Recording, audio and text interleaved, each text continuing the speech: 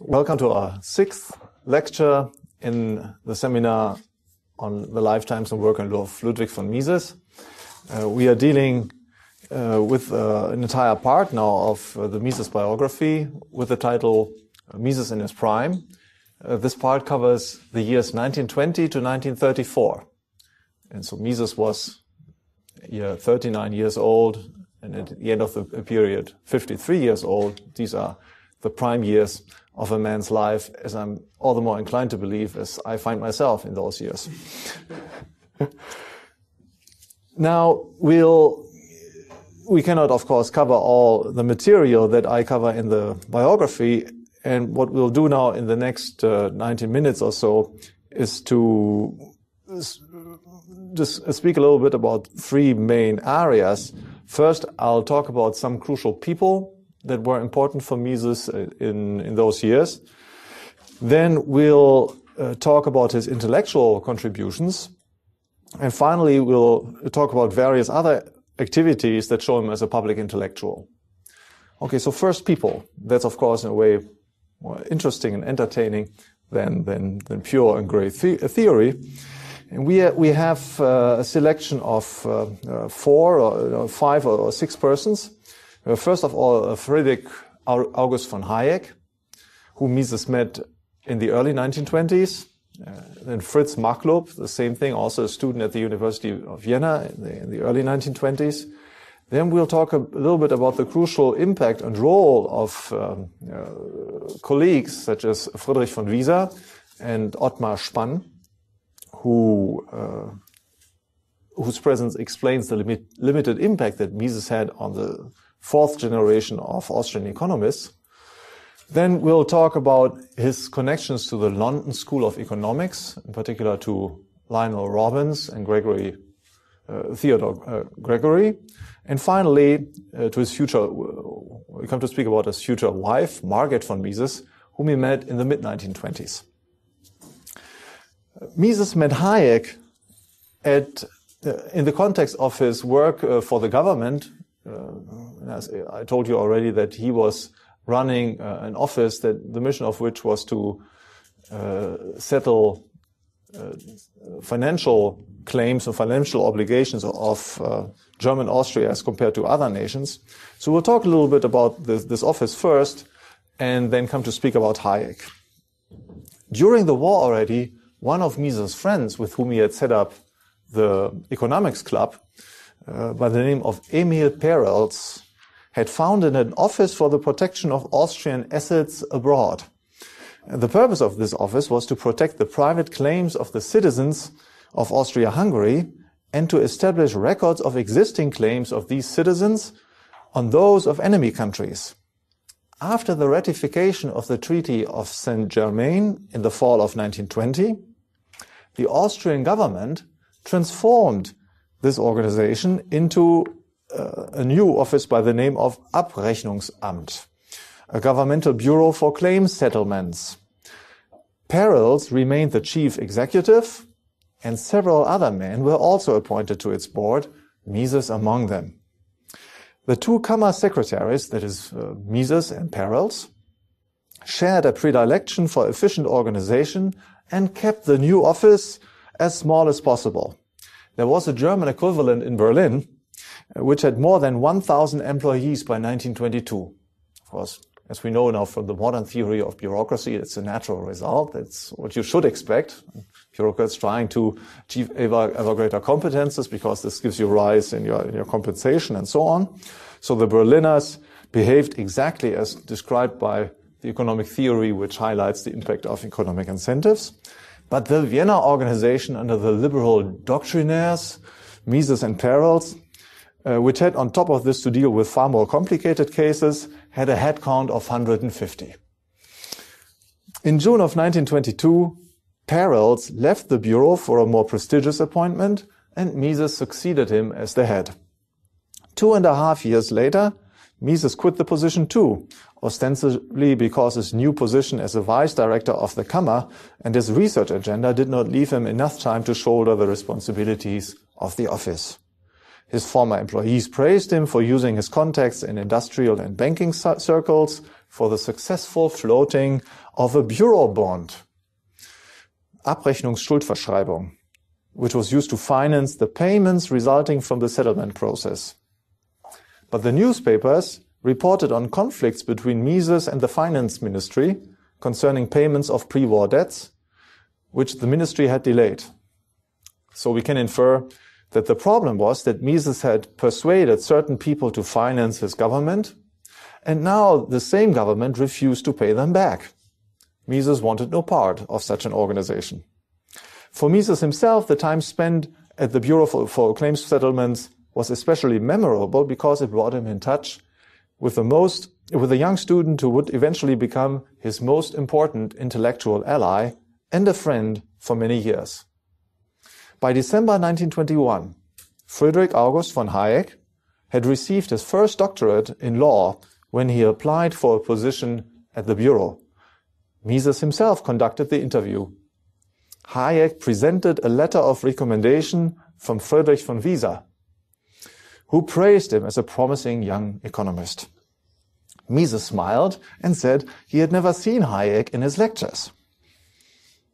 But given Wieser's letter, it would have been rude to reject the young man, and so he hired him nevertheless. Mises assigned Hayek to research uh, money and banking theory, and Hayek quickly showed himself a useful assistant, alerting Mises in particular to the case for free banking. More than any of his fellow students, Hayek was an adventurer.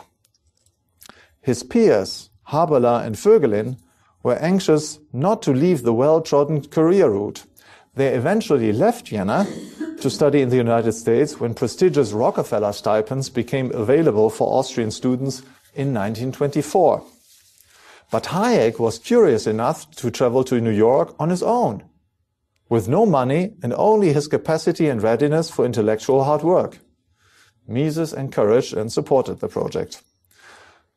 Upon receiving his second doctorate, this time in economics, Hayek left for New York City in March 1923 and stayed until May 1924. He found employment as a translator for economics professor Jeremiah Jenks, whom he had met in Vienna in the spring of 1922. Later, Hayek also worked for Professor Wesley Mitchell at the National Bureau for Economic Research collecting data for his book on business cycles. Mitchell was a great admirer of Wieser's, and Hayek provided him with background information that Mitchell used in his preface for the American edition of Wieser's textbook. Hayek also talked to him about Mises. To Mitchell's mild astonishment, Hayek put Mises in the same class as Voltaire, Montesquieu, Tocqueville, and John Stuart Mill. Yeah, this must have been very astonishing because he had never heard about this uh, Austrian economist.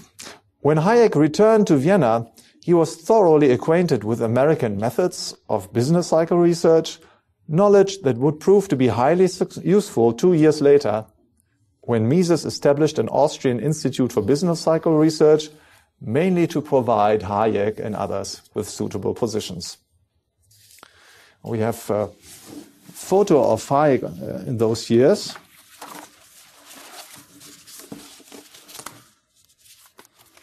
Uh,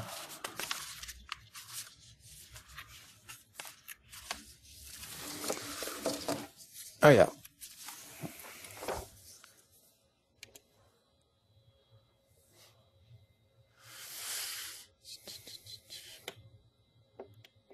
No. Uh, here he is. Now let me turn on some of these buttons. No, this does not work. Maybe this one here. Ha! Okay. Here he is. Young and beautiful. And uh, he was, in fact, a very handsome person and a tall man, so he was impressive as a person. And this was uh, always useful during the rest of his life.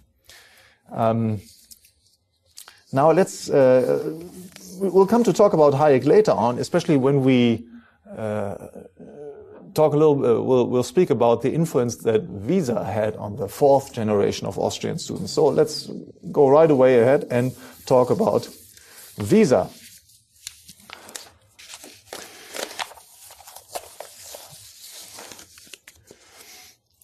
the most important factor responsible for the absence of a school of Misesian economists in the 1920s, a school that came to exist in the 1950s and 1960s. So in the 1920s, it did not exist was because Mises' professional standing was not paramount.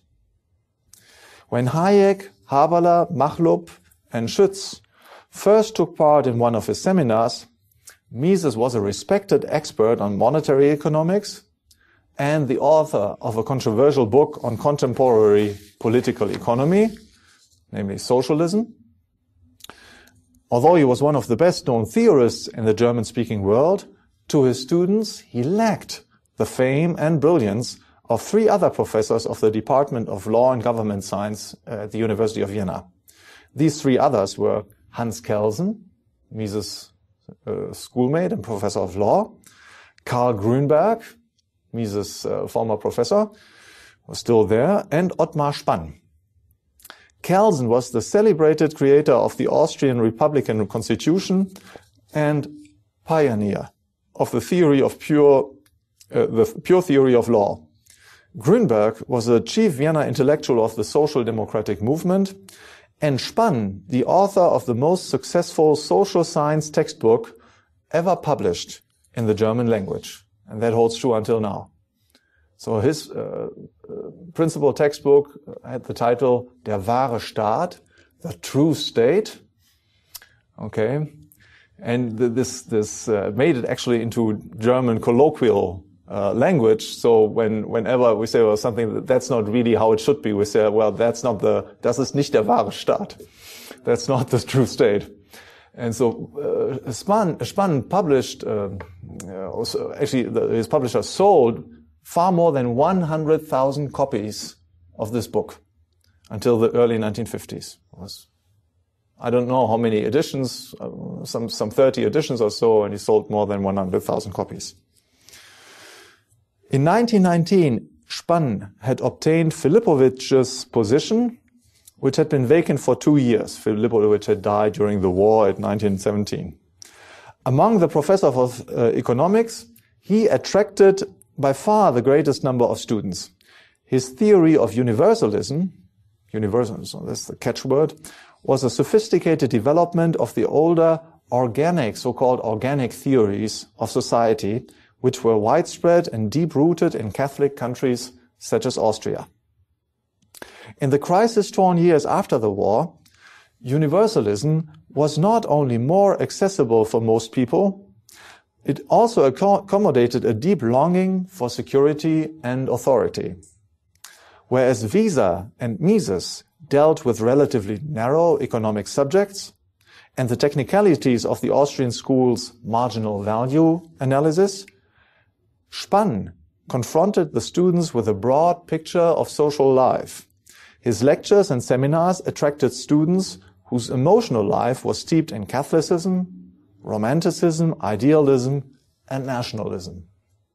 Spann's best known student was the later Austrian Chancellor Engelbert Dollfuss, but he also impressed young scholars of the Austrian school, such as Hayek and Morgenstern. Morgenstern was actually an assistant to Spann. He had far less success with his uh, colleagues at the University of Vienna. Initially, he was invited to the sessions of the Economics Club, but it soon became obvious that a productive debate with members of the Austrian school, Wieser, Mises, Meyer, uh, Weiss, and Strigl, was impossible. This was not primarily a question of different political orientations. The main problem was that Spann's intuitive approach was diametrically opposed to the analytical approach of the other members. Spann believed the task of social theory was to grasp the meaning of totals, whereas the others thought that such undertakings were unscientific. The students who did not share uh, Spann's aesthetic, epistemological, and political orientations, which were a minority, found a ready alternative in the classes of Friedrich von Wieser. In the years after World War I and up to his death in 1926, Wieser was the unquestioned authority in general economic theory in Vienna. With the winter semester of 1922, Wieser's devout disciple Hans Meyer succeeded his master, while Wieser himself continued to lecture as an honorary professor on the sociology of power. Because of Meyer's presence and the successful second edition of Wieser's textbook, the Wieserian paradigm reigned dominant in Vienna long after his death. Even Schumpeter uh, was the uh, number two after uh, after number two Austrian economist after Wieser. Mises was only number three. Even Schumpeter uh, was um, um, not in the eyes of the profession the number one theorist in interwar Germany. That rank belonged to a Swedish economist by the name of Gustav Cassel, whom we have already mentioned when we talked about the mathematicians the mathematician turned economist. Cassel's core mission was to promote Walrasian mathematical economics.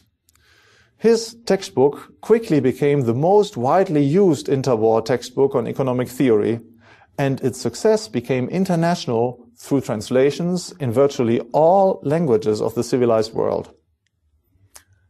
Cassel was famous for his rejection of value theory and utility theory as a foundation of price theory. Wieser, Schumpeter, and Cassel had one thing in common. They were all the three of them were verbal Walrasians. Their books championed the ideas of Walrasian economics without going into mathematical detail. So therefore verbal Walrasians, so verbal presentation. Single-handedly they not only kept the Walrasian paradigm alive at a critical juncture of its history, but also managed, in what amounted to a revolution, to make it the dominant approach in economic theory within the German Reich. Within only one decade, they turned a large number of the younger German economists away from the historical school and converted them to the Lausanne School of Mathematical Economics. Through translations of their major books, this influence radiated far beyond the German-speaking world. Now, this was only general economic theory, but even in the narrower fields of the theory of money, banking, and business cycle, and of the theory of socialism, Mises was not the very highest authority. The great authority in monetary theory was again Friedrich von Wieser, who had pioneered the Austrian theory of the value of money and would write the entry on money for the standard German language dictionary. Wieser's endorsement of banking school principles and of the assignment theory of money was reinforced through the writings of Schumpeter, the other surviving pre-war authority on theoretical economics.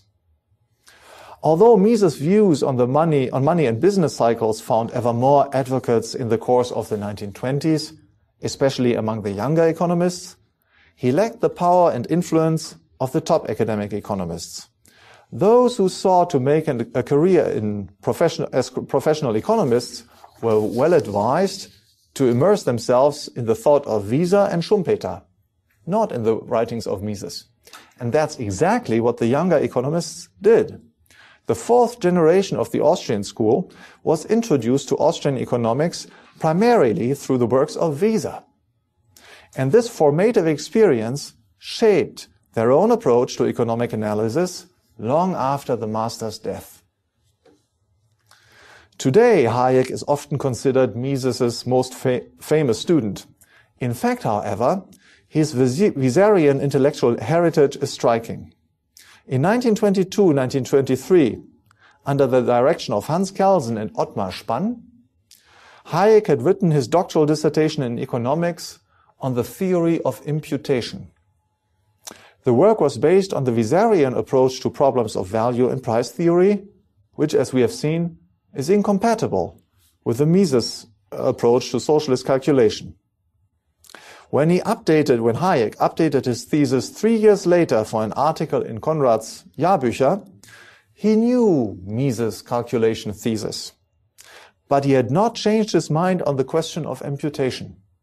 Now, imputation means uh, to explain the value of a factor of production.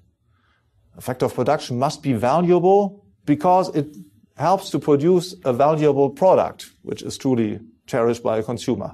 And for value imputation means to, to say, well, the value of a factor of production is dependent on the value of the, of the product. So if we, now the question is, can you impute the value of the product back onto the value of the factor of production?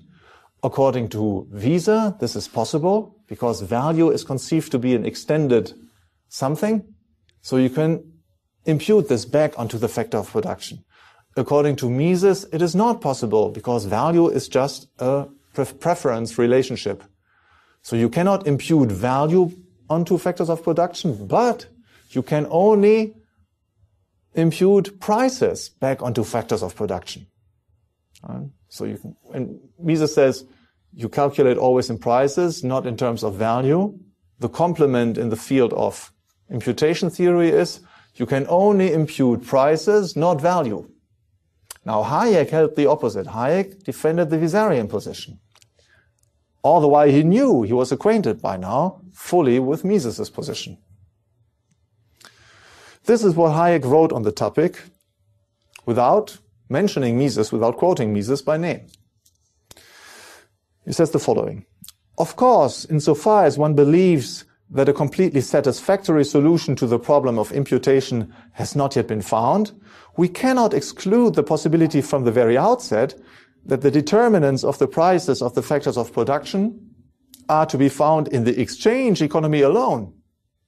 That's Mises' thesis. And therefore that an imputation of value is not applicable. A view held by several younger authors. Nevertheless, if this view were regarded as valid, the result would be that we would have no satisfactory explanation of economic processes based on the subjective theory of value. And it would also follow that these authors too would lack any basis for many of their investigations. So what Hayek says is, well, let's, he doesn't say Mises is wrong. He says, well, if this is true, then subjective value theory no longer applies to most things. Well, that's of course true. Hayek went on to explain and develop Wieserian imputation theory, which in his view was still today the fundamental and most detailed treatment of the problem. Hayek explicitly rejected Mises' argument because it contradicted the Wieserian assumption that all social phenomena are explicable on the basis of value theory alone. This fact is crucial to understanding the later stages of the debate on economic calculation under socialism. Although Hayek entered the debate ostensibly on Mises' side, there was a profound disagreement between the two.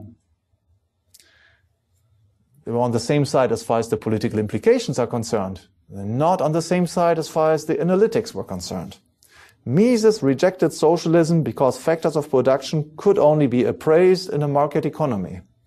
Hayek did not endorse this argument because it contradicted the fundamental framework of his Wieserian economic thought. His own opposition to socialism was not yet formulated. But the paper on imputation theory, a 1925 paper, already indicated the future course of the argument.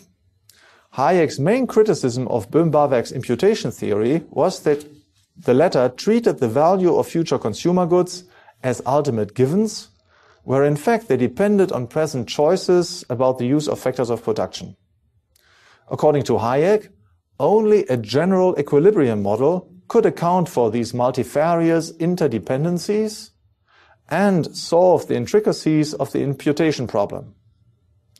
Hayek concluded his 1925 paper mentioning that the Walrasian school of mathematical economics had already successfully tackled problems of a similar nature. But he cautioned against practical problems of applying mathematical imputation theories. Although they could possibly demonstrate by means of a simplified case that the subjective theory of value is in principle applicable, unquote, the complexity of the problem, quote, may make it impossible to, in practice, to apply imputation to any large economic system, unquote. Now, this is exactly the line of argument that Hayek later stressed in the 1930s in his critique of socialism It was just a more detailed exposition of an argument that was already there in 1925. As a Wieserian value theorist, Hayek could not endorse Mises's argument that a rational socialist economy was impossible because there was no such thing as value imputation. What then were the real reasons for the empirically far better performance of market economies? The solution that Hayek eventually presented in the late 1930s and the 1940s was based on an argument that was already prominent with some writers of the 18th and 19th centuries. These writers had argued that prices contain information about market conditions, shortages, surpluses, and that they steer production in a market economy.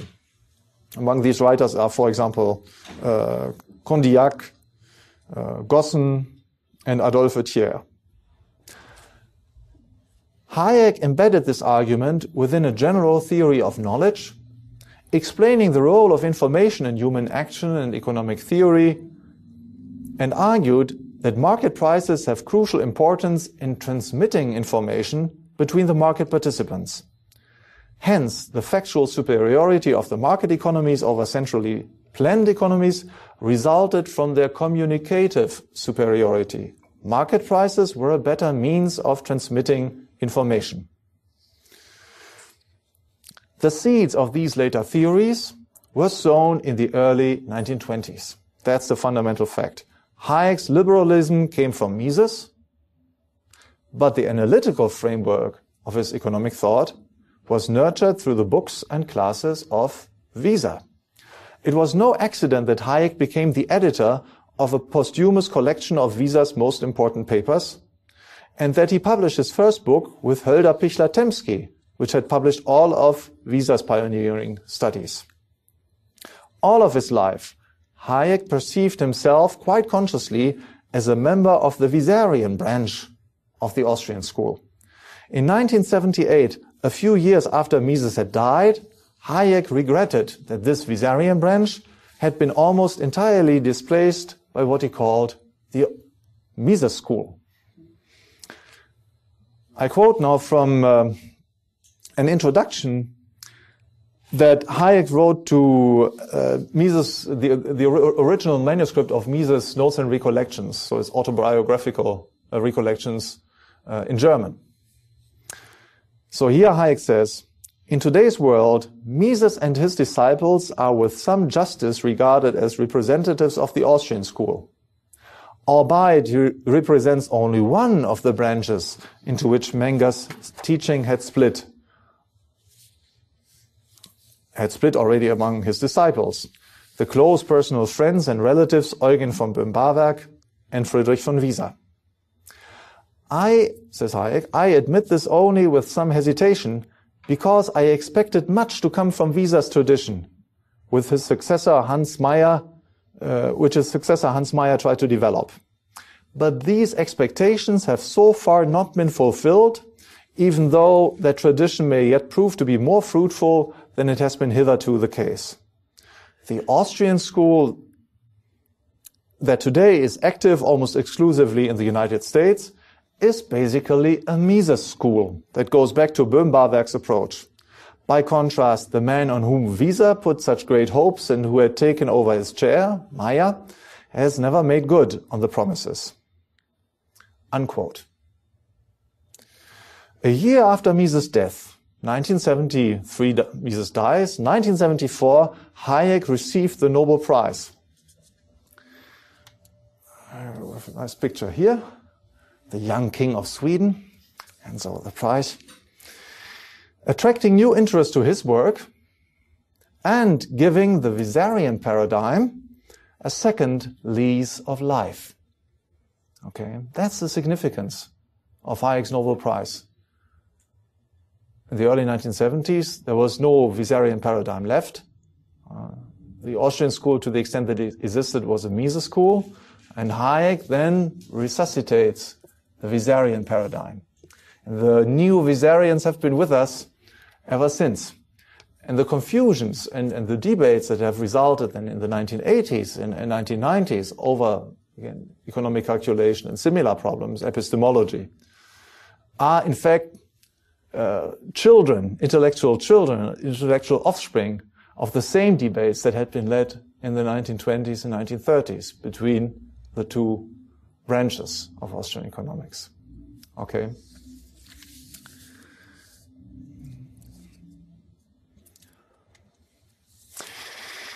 Now we come to uh, Fritz Machlup, uh, who was the student on whom Mises apparently had the most profound impact in the early 1920s.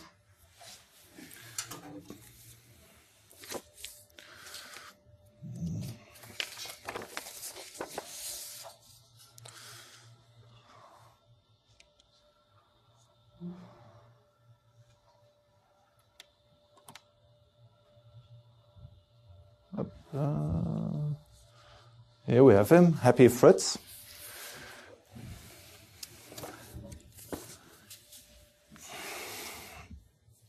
Of all the later star members of Mises' private seminar, Machlup alone had received his doctorate under Mises' direction.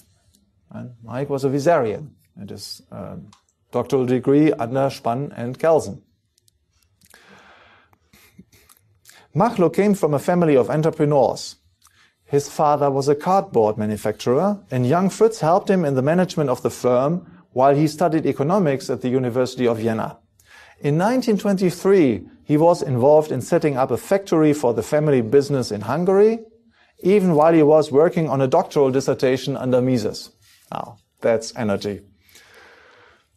At the end of the year, the factory was running and Machlup had his doctorate. He was admitted to the private seminar of Mises and his relationship with the master became less formal. Like his mentor, Machlup was an enthusiastic skier and fencer, and they probably spent many hours together in the gym and in the mountains. Their common Jewish heritage was certainly an important factor in their unusually cordial rapport. In the 1930s, wrote to Machlup in the tone of true friend friendship while in his correspondence with other intellectual associates, Hayek, for example, there always remained a hint of formality. Being Jewish was also the most important factor hampering both academic careers. Starting around 1922, German nationalists and Catholic groups led a campaign to reduce the Jewish presence at the universities. Mises had been appointed adjunct professor under the ancient regime, in the New Republic, he made no further advances. Neither did his disciple. Machlup received his doctorate, and that was it. This situation must have created a mutual sympathy between the two men. Bad as it was, it could not prevent the dynamic Machlup from a successful career outside the university system. A few years later, he became a member of the Austrian cardboard Cartel, and was also appointed secretary of the Verein Österreichischer Volkswirte, the Association of Austrian Political Economists. Machlup was a man of great ambition and of great talents. The drive of the successful entrepreneur never left him even in later years when he moved to the United States and focused entirely on scholarly pursuits. A poem that Kenneth Boulding, famous Keynesian, composed many years later in his honor testified to the fact. That's how, this is what Cole, uh, Boulding wrote. Oh, happy is the man who sits beside or at the feet of Fritz, whose thoughts, as charming as profound, travel beyond the speeds of sound. All passing as he speeds them up, Mach 1, Mach 1, Mach 3, Mach Lup. Oh, Mach Lup. With what astonishment one sees a supersonic Viennese whose wit and vigor it appears, are undiminished by the years. Now that's very nice. Machlup wrote his doctoral dissertation on the gold bullion standard. He pu published the book as a, the work as a book in 1925, for the appendix of which he also translated Ricardo's proposals for an economical and secure currency. Six years later, he published a study on the role of bank credit in the stock market in the business cycle. Both books demonstrated that their author had very well assimilated the Misesian approach to monetary analysis And both of them were brilliant contributions extending the work of this, of his teacher. I said already that Mises called in particular the second book a masterpiece. But it was shortly after its publication that the friendship between the two men became strained. Machlup emigrated to the United States and adjusted perhaps a little bit too readily to his new intellectual environment. The low point was reached in the 1960s when Machlup started agitating against the gold standard. For several years, his old teacher refused to speak to him. The efforts of Mrs. Mises eventually produced a rapprochement, but the old friendship was gone. Okay, so we, we, we mentioned Mrs. von Mises, so it's now time to talk uh, about Margit von Mises, whom Mises met. Of obviously, that, that's an important person in his life. Mises met her uh, in 1925 uh, as one of six guests at a dinner party. Dinner party was held by Felix Kaufmann, a young lawyer and member of Mises's private seminar. It is almost a miracle that Mises won the heart of the lady sitting next to him, for he spent most of the meal discussing economics. On the other hand, his preoccupation gave her the opportunity to observe him. It's also a good thing. Okay, let's now see a photo. see a photo. This is Margit. Okay, this is uh, not in uh, 1925, but a few, just a few years earlier. And this must be uh, the late 1910s. Okay. So can you believe this? So he sits there and, and talks economics. There's this lady sitting next to next to him. Okay, this is what she what she sees. Not bad. Okay, so we can forgive her. That she we can we can understand that she forgave him his, his rudeness. So this is how she perceived him. What impressed me, as a quote now, what impressed me were his beautiful, clear blue eyes, always concentrated on the person to whom he talked, never shifting away. His dark hair, already a little grayish at the sides, yeah, was parted, not one hair out of place. Ah, so she was a true German lady, has order. I liked his hands his long, slim fingers, which clearly showed that he did not use them for manual work. He was dressed with quiet elegance. A dark custom-made suit, like this one, a fitting silk necktie, like this one. His posture indicated that he must have been a former military officer. So after all, there are some benefits, right, that we receive from military training. So maybe we should just have an, have an army to educate young men and never use them and never give them weapons. Just have them walk around and obey orders and so on. Yeah. Shape up. Mises talked to her after dinner and they went to a dance club. Apparently, Mises was a poor dancer, at least by Margit's standards. And so they spent most of the night talking. Actually, she did most of the talking and he listened attentively. Margaret was an attractive woman of five foot four, 160 centimeters, with brown hair and gray blue eyes. Now, as they talked, he discovered that uh, she also was also a witty and warm person. He must have fallen in love with her that evening. The next day, he sent her red roses and asked her out for dinner. Well, that's quite a stormy approach. It was the first of many such dinners over the next two years. Margit Sereny, that was her name, was an actress from a bourgeois background in Hamburg. During the war, she had performed on one of the leading stages in Vienna, the Deutsche Volkstheater. When Mises met her, she was 35 years old and a very attractive widow with two children, Guido, imagine that, and Gitta.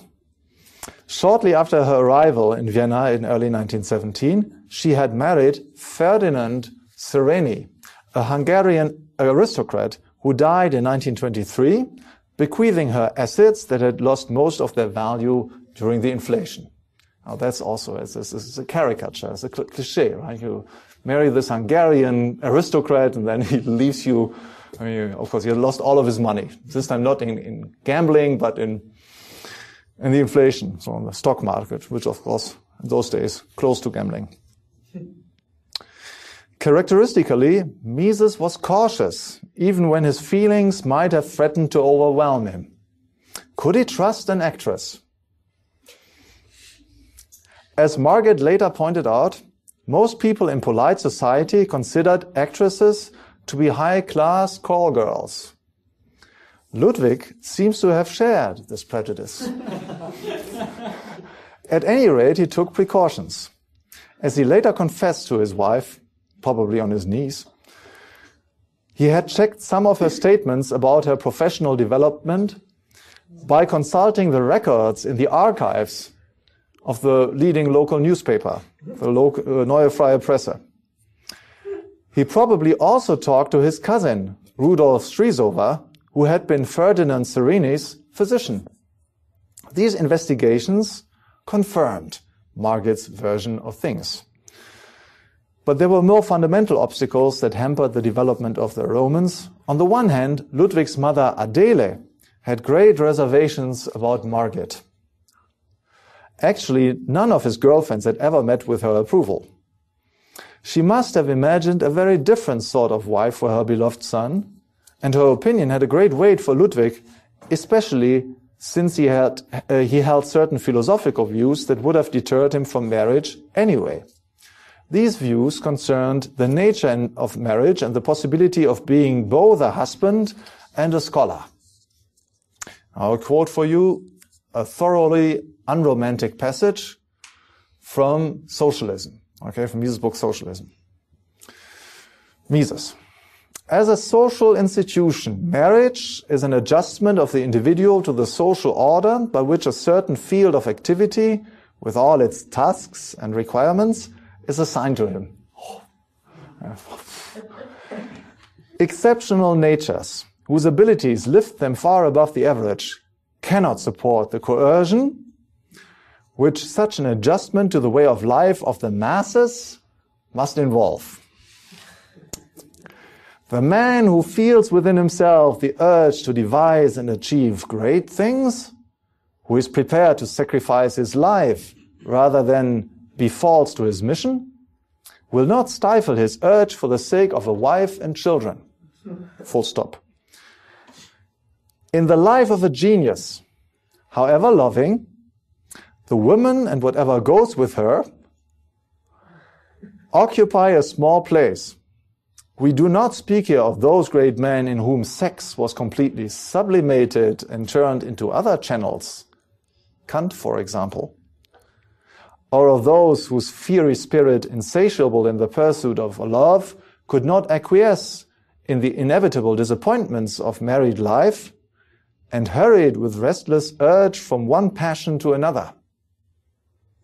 Even the man of genius, whose married life seems to take a normal course, whose attitude to sex does not differ from that of other people, cannot in the long run feel himself bound by marriage without violating his own self.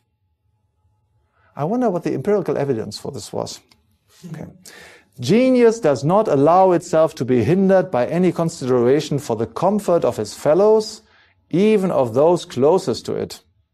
The ties of marriage become intolerable bonds, which the genius tries to cast off, or at least to loosen, so as to be able to move freely.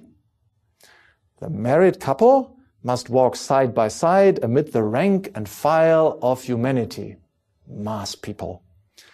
Whoever wishes to go his own way must break away from it. Rarely indeed is he granted the happiness of finding a woman willing and able to go with him on his solitary path. End quote. This passage survived all editions of the book. Ludwig was slow to allow Margaret onto his hitherto solitary path. But on the other hand, he was longing for the love of a true companion. Margit later surmised that a deep-seated dissatisfaction with his entirely public life was the true cause of his infamous temper. The most terrible outbursts he reserved for the woman he loved. Now comes a quote from Margit. His temper was as astonishing as, as, it was frightening. Occasionally he showed terrible outbursts of tantrums. I do not really know what else to call them. Suddenly his temper would flare up, mostly about a small, unimportant happening. He would lose control of himself, start to shout and say things which, coming from him, were so unexpected, so unbelievable, that when it happened the first few times, I was frightened to death. Whatever I said would enrage him even more. It was impossible to reason with him. End of quote. A few years of married life, however, and he became much more reasonable and slow to anger. So this is the beginning of, of their relationship. We have a couple of more photos here. Just uh, we can just share. This is Margit in the in the early 40s, and uh, so that's when they were already married. And we have this here too. Happy couple.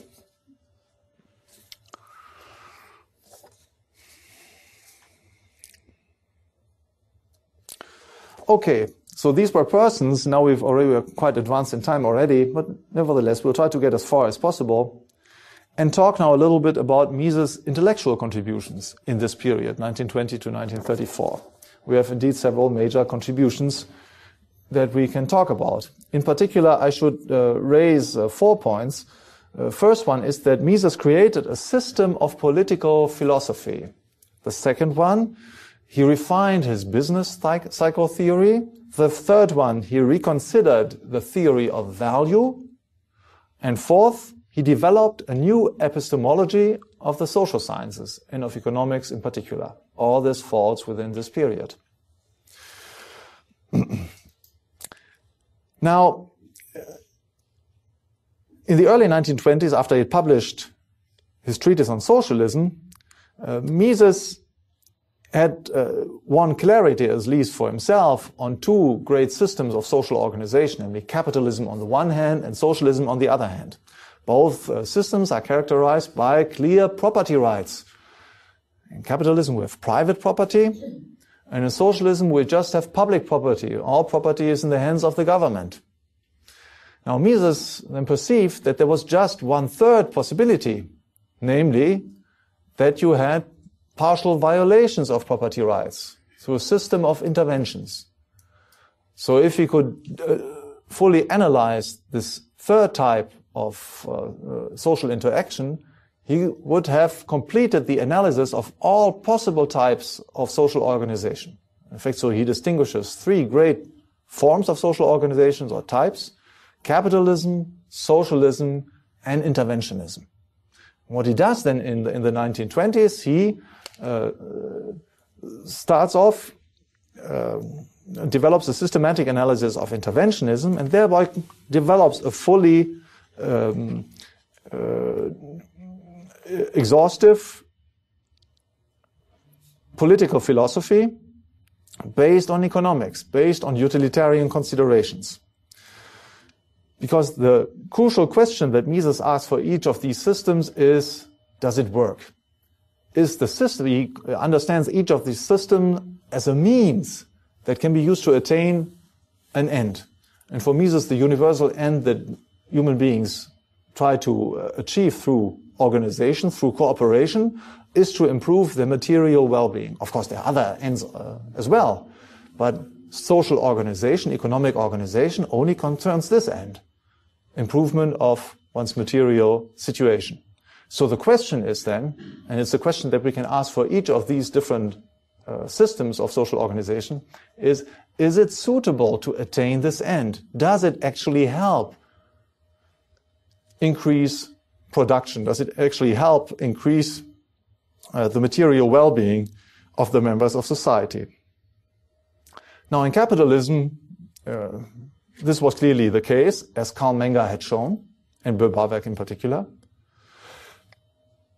And in the case of socialism, Mises had just delivered the proof that it was not the case. Socialism was necessarily less efficient than capitalism because it could not use, could not rely on economic calculation. Therefore, socialism from a utilitarian point of view is an unsuitable means to attain the end of improving one's material situation. Now, what about interventionism? Well, interventionism is, uh, as Mises defines it, uh, uh, uh a punctual uh, order or command issued by the government to uh, private owners, according to which they should use their property different, in a different way than the one they would have chosen spontaneously. So in other words, Mises doesn't exactly frame it this way, but that's what it boils down to. In other words, the government turns itself here into an unwanted co-owner of the individual owners, the, the private owners. Uh, he commands them to say, okay, you may use your property. Uh, only uh, if, if you want to hire people, for example, you may hire them, but only at this and that wage rate. So this unwanted co-ownership, insofar as I want to pursue this activity, I'm bound to obey the commands of the government. Otherwise, I'm in conflict with the law, so I can be put into prison. Now, the co uh, consequence is that uh, people try to evade this law.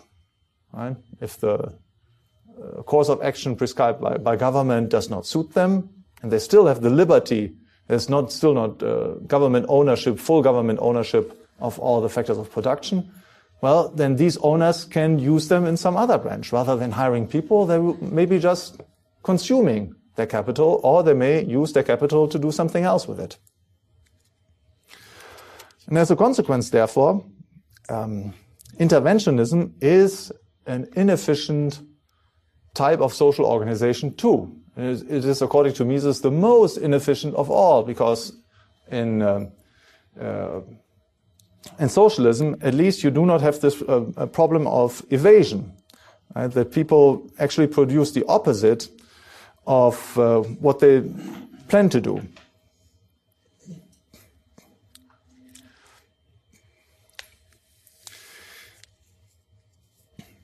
Now, what Mises does here is to um, is to engage uh, in uh, is to develop an uh, analytical approach that consists, by and large, in, uh, essentially in comparing different types of social organization. Fundamentally, compares um, the operation of a system based on private property, individual uh, private property, to a system based on um, public property, or and to a system based on violations of property. So the comparison is framed in terms of property rights. This contrasts sharply with how uh, policy issues were or are analyzed in our days and came to be analyzed in the days um, of Mises. Um, let me give you the following example.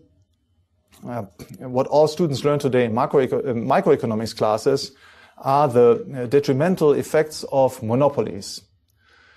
And uh, the demonstration goes as follows. We present an ideal economy that we call uh, an economy in the state of perfect competition or pure competition.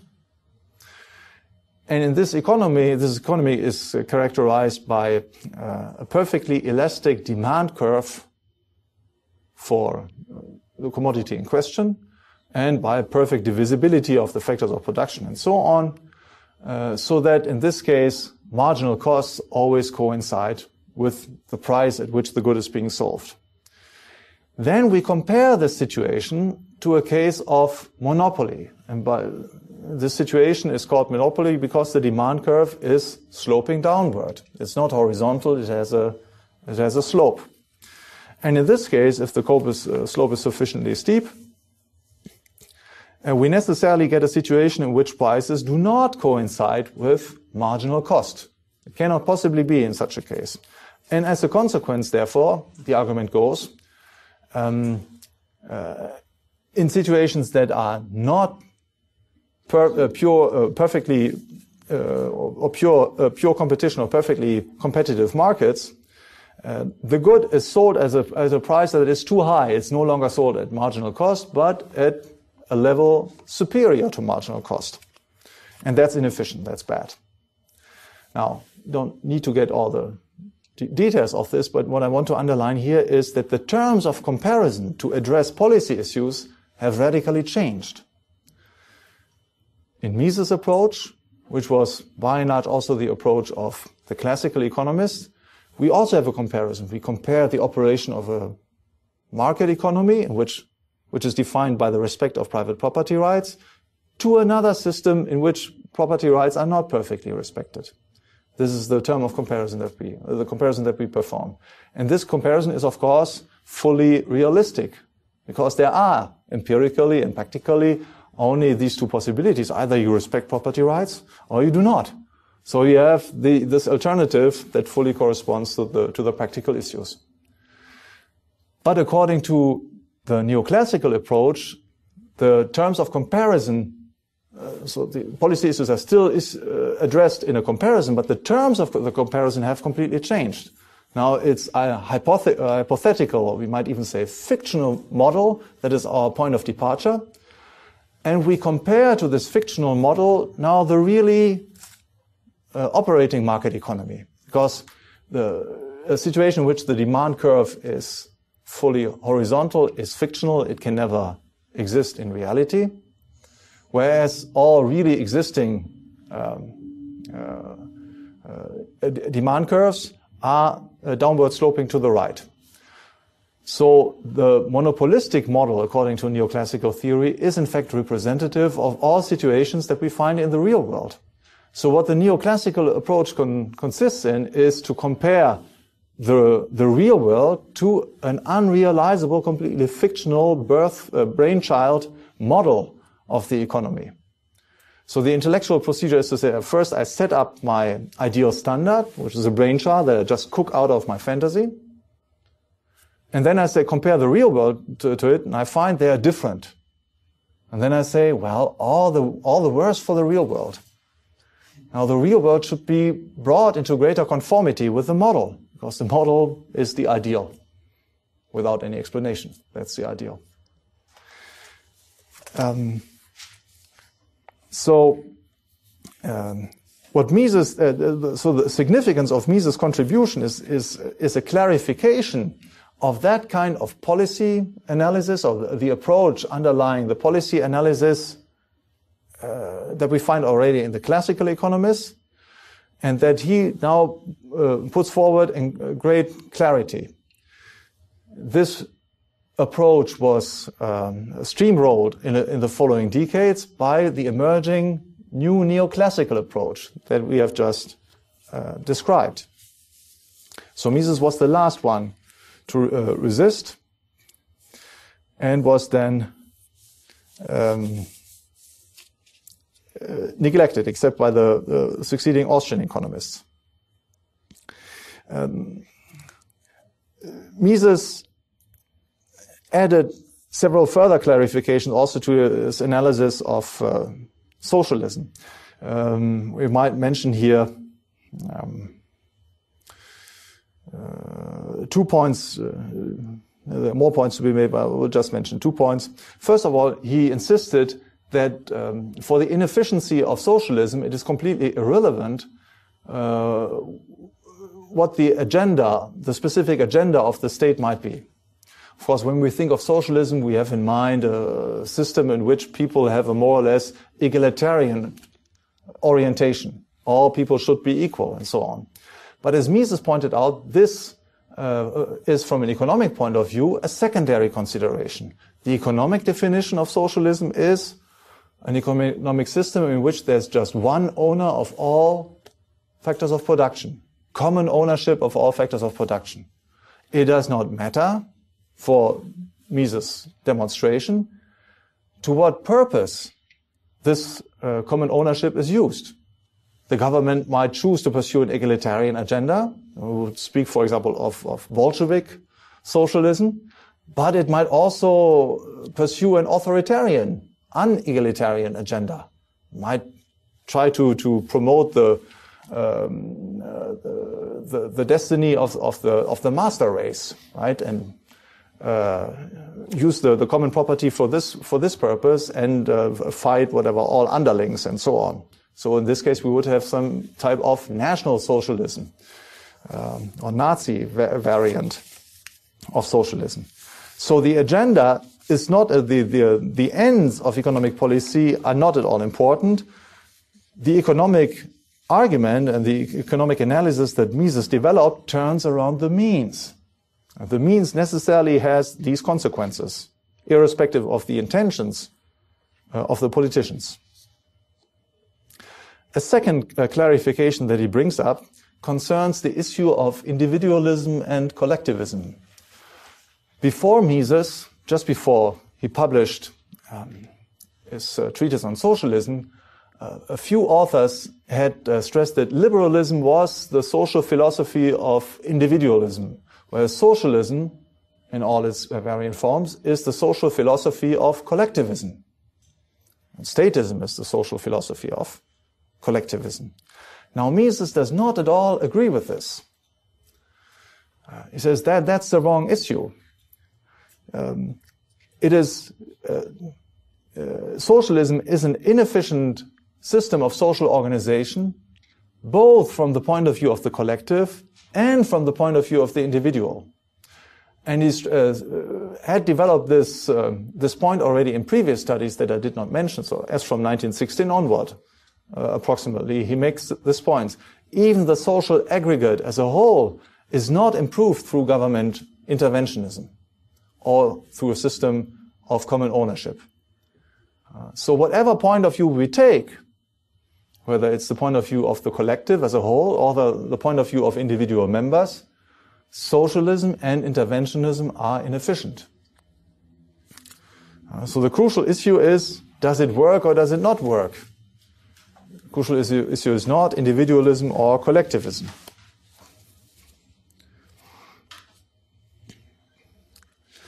Okay, then I said we come to the second point, uh, uh, and here Mises refines his business cycle theory. There are three points that, that he adds, most notably in a 1928 book publication, uh, Monetary Stabilization and Cyclical Policy, that's the English translation. Uh, Geldwertstabilisierung und Konjunkturpolitik is the German uh, title. So he makes uh, three points. First of all, he develops a critique of Irving Fisher's theory of uh, the stabilization of the purchasing power of money. Uh, second, uh, he develops a theory of the recurrence of the cycle. And third, he uh, stresses the importance of free banking. Let's go through these points uh, again in a little bit more detail. Uh, so according to Irving Fisher, monetary stabilization was necessary to improve the efficiency of um, uh, of the operation of the market economy. And that is because variations in the purchasing power of money modify, so to say, the measuring rod in terms of which the entrepreneurs perform their economic calculations. Okay, it's like saying, okay, I, want to, to measure the distances within a room or on streets and so on. And in the course of this measuring process, I change the length of the meter okay, then of course it, it cannot work. That's about the argument. Now, what Mises says is that this analogy does not at all hold in the case of monetary calculation. It is not important that the purchasing power of the monetary unit be stable in order to uh, make efficient or correct economic calculations. And the reason is that economic, the, the purpose of economic calculation is to compare action alternatives. Should I do A or should I do B? Now it's easy to see that uh, whatever the, the purchase, whatever the, the modification of the purchasing power of money through time, my calculation can be fully correct. Let's assume the purchasing power of money decreases in the course of time. So future prices will, will be higher than they would otherwise have been.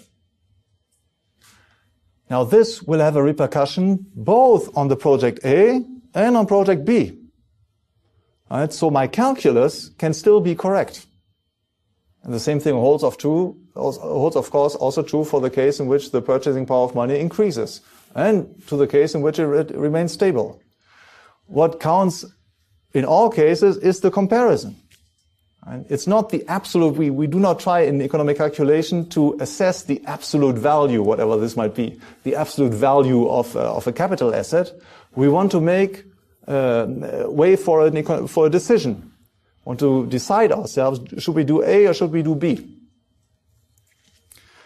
So Fisher is, is wrong uh, on this. Uh, an economy can operate efficiently whatever the purchasing power of money is, whether it's stable or unstable throughout time. It does not a priori affect the exactitude of economic calculation. Moreover, Fisher is wrong in identifying the main negative impact of um, uh, redistributive impact of, uh, of money. Fisher sees this redistribution impact in uh, its uh, in the uh, relation between debtors and creditors. So if the purchasing power of money increases, that is, if uh, prices uh, go down, well, then creditors would be benefited, according to Fisher, and debtors would lose, because debtors would now pay back in terms of a money that has a higher purchasing power than before, whereas creditors would get money that has a higher purchasing power than before. So creditors win, debtors lose. Now, it's easy to see that uh, the story is not as easy as that. It's not necessarily the case that in this case, creditors win and debtors lose, because all depends on the exactitude of anticipations. If the decline of the purchasing power or the increase of the purchasing power of money has been anticipated, well, then both parties fully get what they expected. There's no winner and no loser. So if we have a declining purchasing power of money, it's not necessarily the, the debtor that wins. It might actually be the creditor that wins. And inversely, if we have an increasing purchasing power of money, it's not necessarily the creditor that wins. It could also be the debtor that wins. All depends on the initial assumptions, initial expectations. But there is a redistribution effect that does not depend on the quality of expectations. And these are the Cantillon effects that Mises had already discussed in his theory of money and credit.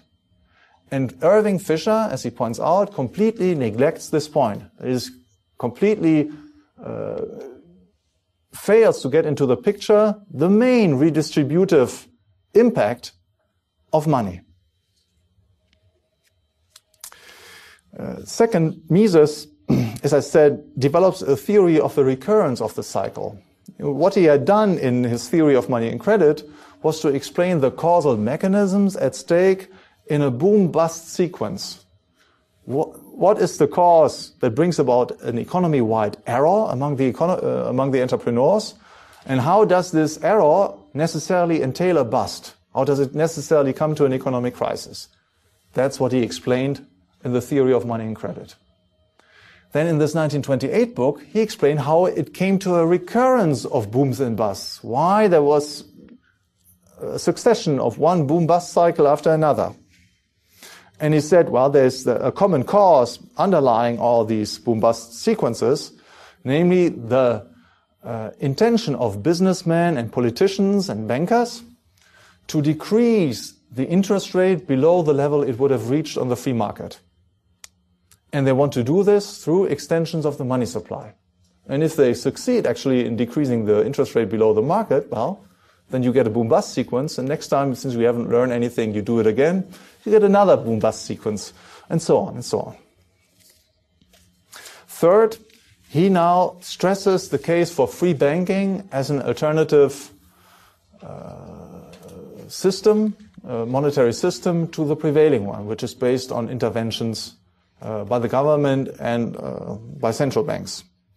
Uh, again, I uh, said at the beginning of my talk this afternoon that uh, one of his inspirations for this was the research done by Friedrich von Hayek.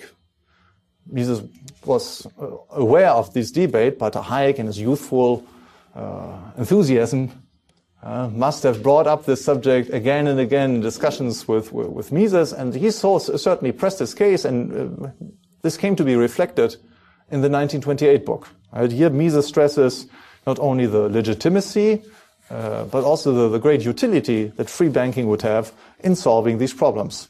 Right? The boom-bust sequence, uh, the business cycle, could be avoided in a system of free banking. The third uh, intellectual contribution that Mises makes is the reconsideration of the theory of value. We've already talked a little bit about this.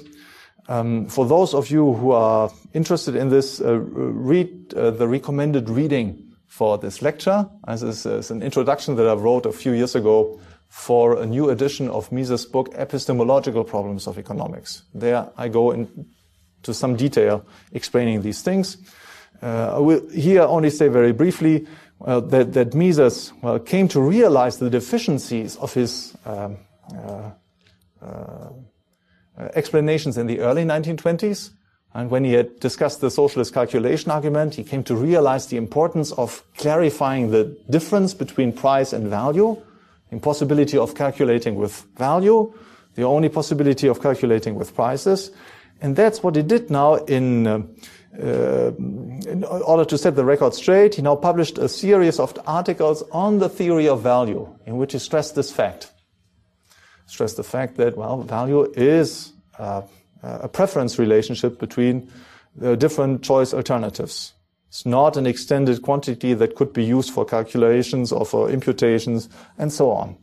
And in particular, he did something that he never did uh, again, in any of his uh, writings, never did before also, that is, he criticized Menger and Böhm-Bawerk. He criticized the value theories of Menger and Böhm-Bawerk, um, showing exactly where they went wrong. The fourth intellectual contribution that Mises made in those years was the development of a new epistemology for the social sciences and for economics in particular. And uh, the, the, uh, up to the present day, this has been one of the most contested elements of uh, Misesian economics. And what sets the Austrian uh, economists apart, or let's say the Misesian branch, uh, apart today from all other schools of thought, is the insistence that e economic laws are a priori laws. They hold true a priori. Now, thus this seems to be quite uh, removed from his earlier concerns about well, empirically verifiable facts and so on, his sympathy with uh, the empirical theory of Carl Menger and so on. So how does Mises come to talk about this a priori stuff? Well, actually, there's no jump here at all. There's only a clarification. What Mises did was, in fact, uh, was not to understand um, um, the word a priori uh, in the sense of uh, something detached from reality, but in the sense of concerning a reality that is not accessible to the human sense organs. That is, uh, eyes, ears, noses, hands, and so on. And there is this uh, reality, for example, the fact of choice. We may, we are able to make choices. It is a fact. If we do not accept, we, I mean, we may deny this and so on, but then, of course, uh, uh various, uh, uh, well, all of human life would become quite senseless. Now, the, the crucial consideration here is that human choice cannot be uh, grasped with our sense organs. We know that there is choice, but we do not know it because we can observe it, because we can hear it, because we can touch it, and so on. So there is a layer of reality that is relevant for economics, and in fact fundamental for economics. How can we talk about economics if we do not start from choice? We do not acknowledge the, the fact that human beings make choices. But this layer of reality cannot be, well, accessed with our senses. It must be accessed through, well, inner experience or reflective uh, uh, meditation, however you call it. It's unimportant how we call this. Right? And that's what, that's his only point. In order to understand observable things, movements of the human body through space and time, for example, we need to bring in this element that we know of not through our observations. It's a difference. I, I see somebody coming into the room. If I did not know that human beings make choices, well, I would say, well, this, somehow this body was kicked in and then he flirted through the room and then ended up on one of these seats. Okay.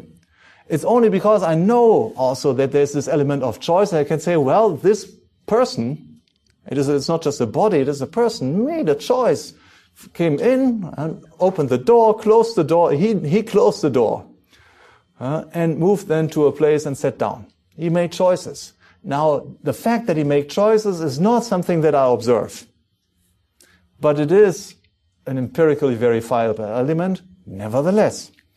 So that's ultimately what Mises stressed in, in his works uh, uh, dedicated to the epistemology of economics in the late 1920s, starting with an article with the uh, title uh, Sociology and History, and culminating in the first chapter of his 1933 book, Basic Problems of Economics, translated as Epistemological Problems of Economics.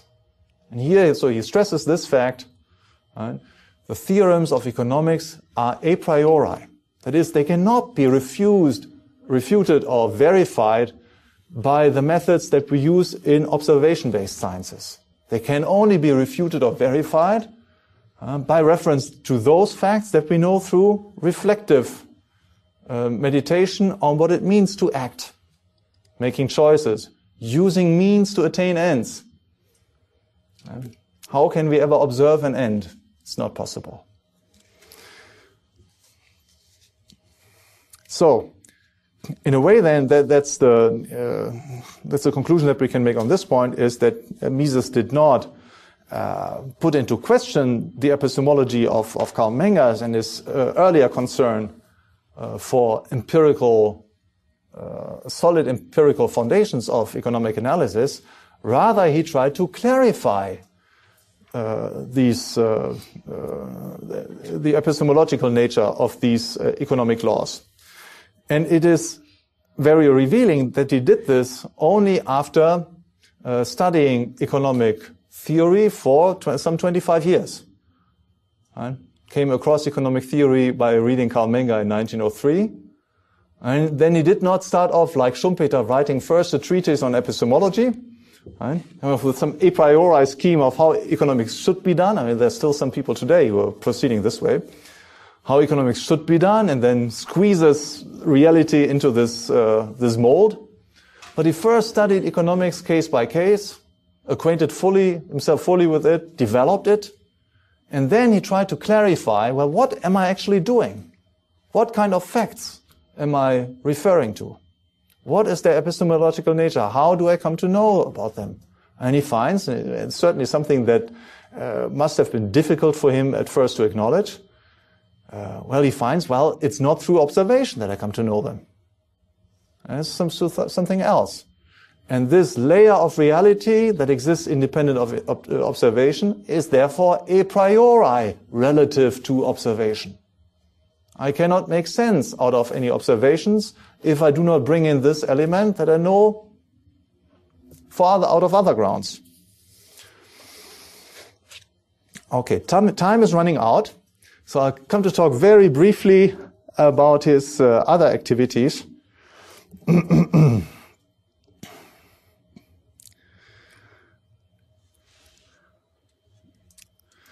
Mises was, uh, I, mentioned here briefly five, uh, five activities. So first of all, Mises was involved in the introduction of the gold exchange standard in Austria.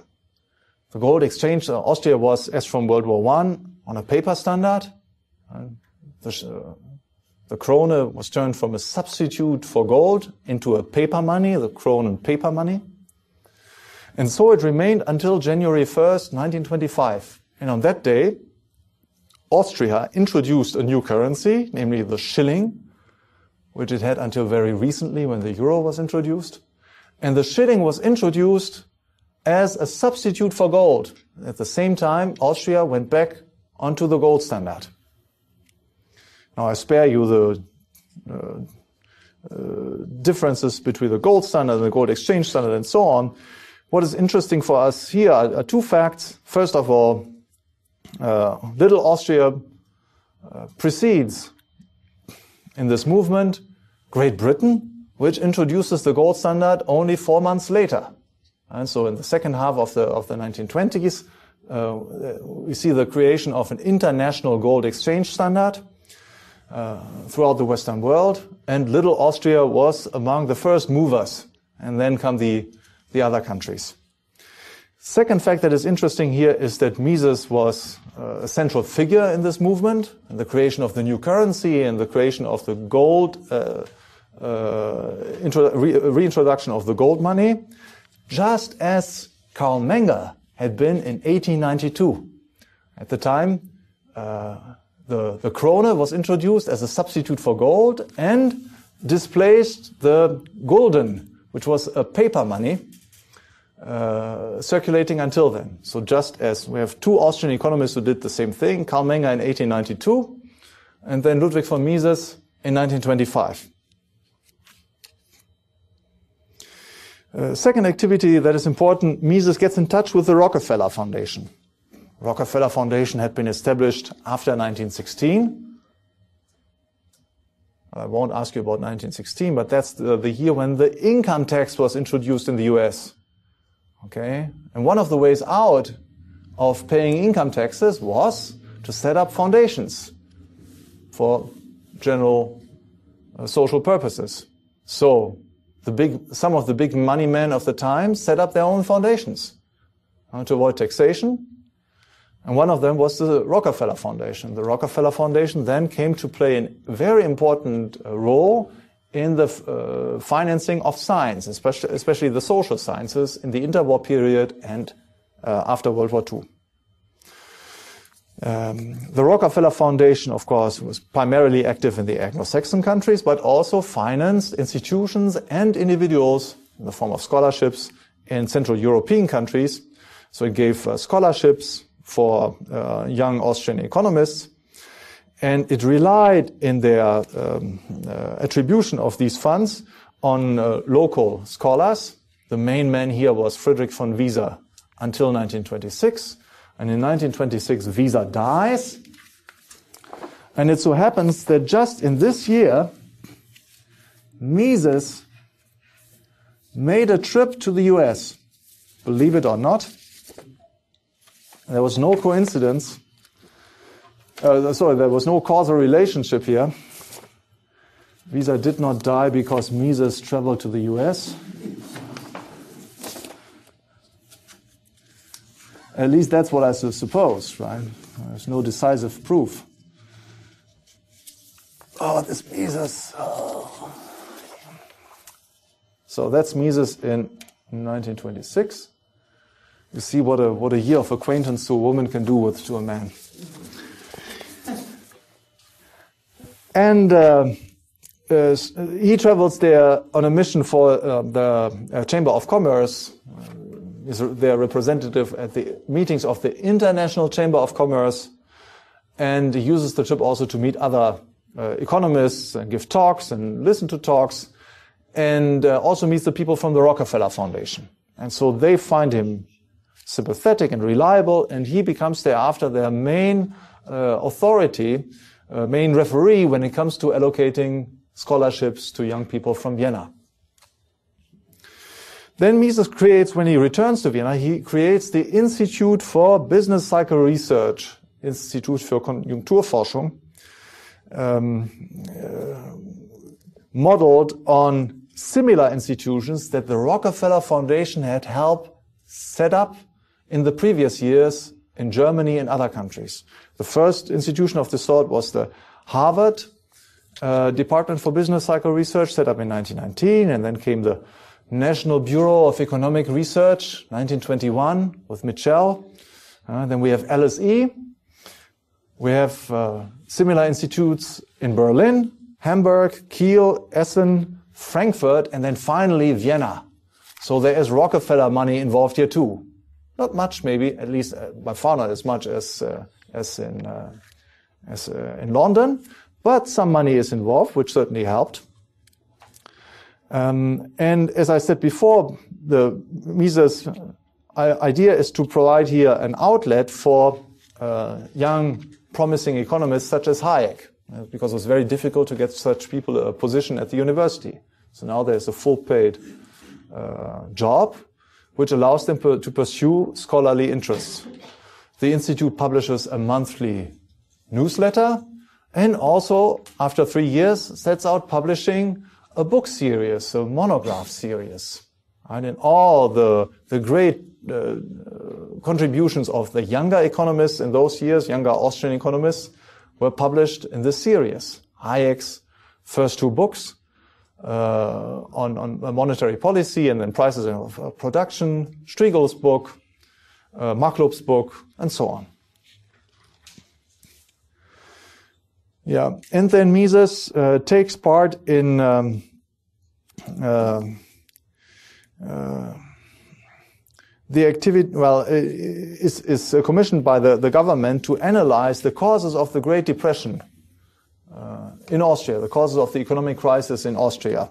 Um, that's an official report that is not published under his name, so it's an anonymous uh, uh writing committee uh, with one labor union representative, one uh, representative of, of the government, and Mises as the representative of the Chamber of Commerce. So he's not fully satisfied with this with this report, in particular since it does not give its full due to the labor unions. And so in 1931, the same year, he publishes uh, separate analysis with the title The Causes of the Great Depression, in which he does precisely this. Here he, uh, he states the following fact. Well, okay, we have a boom-bust sequence that was uh, given in this case too. We had expansionary monetary policy, so it had to come to an economic crisis. The question now is, why does the crisis last so long? He asked this in 1931, so only after two years. Uh, crisis is still in full swing. Could have raised the same question again in 1934 and, and thereafter. So why does it last so long? And he says, well, the only explanation is that we have a second element that comes here into play, namely interventionism. We have uh, interventionism in particular in the form of uh, intervention in the, into the labor market that protect the labor unions, uh, not only through uh, minimum wage laws, but in particular through unemployment insurance. Unemployment insurance creates unemployment. Very politically incorrect at the time. And he also, now we'll conclude on this, he also refutes uh, the, the argument that has become the standard Keynesian argument ever since. This was already present uh, six years before uh, publication of the general theory, namely the argument that you could reduce unemployment by an expansionary monetary policy.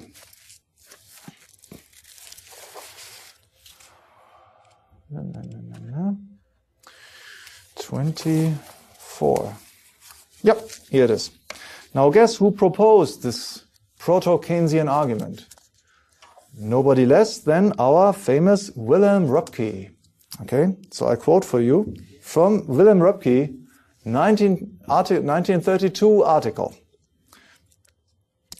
Röpke says, in the present phase of the crisis, it seems to me it is wrong to expect that a reduction of the level of wages would re-establish equilibrium.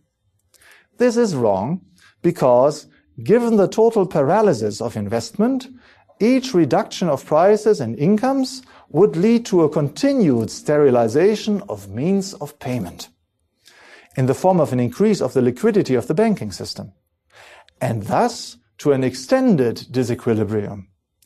Mises and his fellow travelers apparently do not sufficiently take account of the fact that today we have monstrous productive reserves that are unused.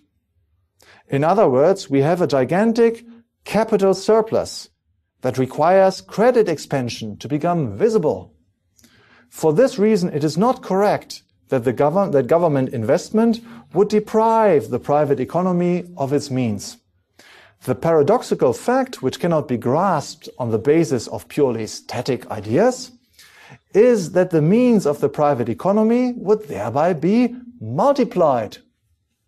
Uh, we have everything here, right? We have expansionary monetary policy, we have the multiplier. Wonderful. Mises had anticipated this line of argument in his little booklet, The Causes of the Economic Crisis, he noticed that some economists had come up with a new theory of how inflation could be beneficial.